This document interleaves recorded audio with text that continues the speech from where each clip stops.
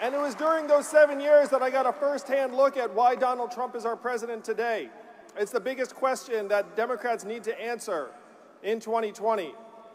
If you turned on cable news, you might think that he's our president today because of some mixture of Russia, racism, Facebook, the FBI, Hillary Clinton, emails, all sort of mixed together into, a, into some kind of brew.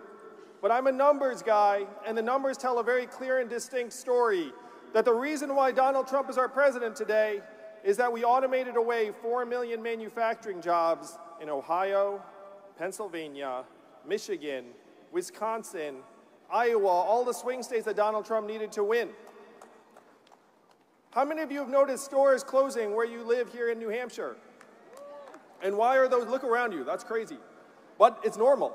It's unfortunately no longer crazy. Why are those stores closing here in New Hampshire? One word answer. That's right, Amazon is soaking up $20 billion in business every single year. And how much is Amazon paying in taxes in return? Zero. 20 billion out, zero back. That is the math. They're paying less in taxes than everyone here in this arena. I can say that with absolute confidence. When you all call the customer service line of a big company and you get the software, the bot, what do you do? Zero, zero, zero, human, human, representative, until you get a human on the line. I do the exact same thing. But in two or three years, the software is going to sound like this. Hey, Andrew, how's it going? What can I do for you? It's going to be delightful, fast, efficient. You might not even realize it's software. What is that going to mean for the two and a half million Americans who answer phones for a living right now? As 30% of your stores close, the most common job here in New Hampshire is retail clerk. The average retail clerk is a 39 year old woman making between 9 and $10 an hour. What is she going to do? We're in the midst of the greatest economic transformation in the history of our country, what experts are calling the fourth industrial revolution. When is the last time you've heard a politician say the words fourth industrial revolution, New Hampshire? Just now. And I am barely a politician.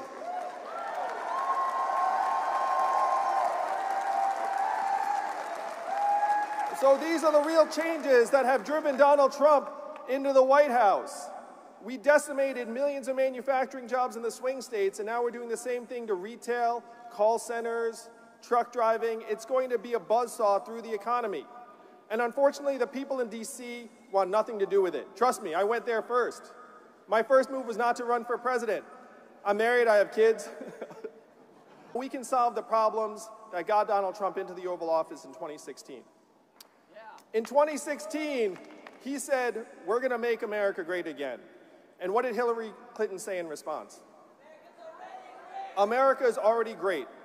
And that did not work out. He got the problems essentially right, but his solutions were the opposite of what we need. His solutions were we're going to build a wall, we're going to turn the clock backwards, we're going to bring the old jobs back. We have to turn the clock forward. We have to accelerate our economy and society as quickly as possible. We have to evolve in the way we think about work and value. And I am the ideal candidate for that job because the opposite of Donald Trump is an Asian man who likes math. Thank you, New Hampshire. Thank you, New Hampshire. I love you.